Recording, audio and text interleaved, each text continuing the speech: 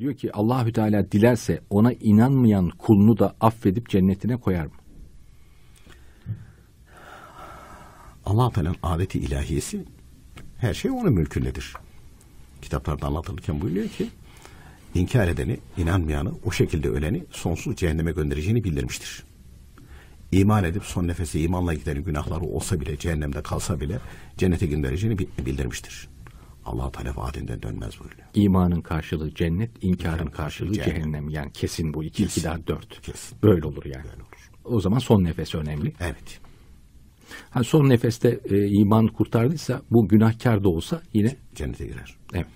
E, kafir mesela ölümünden önce bir saat önce iman ettiyse bilmiyoruz onu. Cennete gider.